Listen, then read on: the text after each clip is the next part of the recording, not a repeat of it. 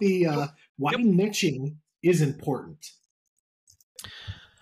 because I have this, I use this saying: if you are everything to everyone, then you are nothing to nobody. And so when you go to networking posts. events or go to other places, well, if you know anyone that uh, is breathing and has blue eyes, I'd love to talk to them.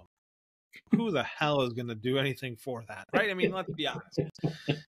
Who's thinking right? of that as, from a net?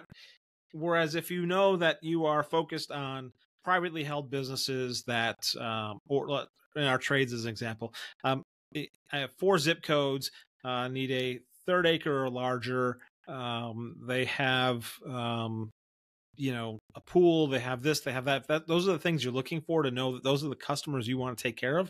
Mm-hmm.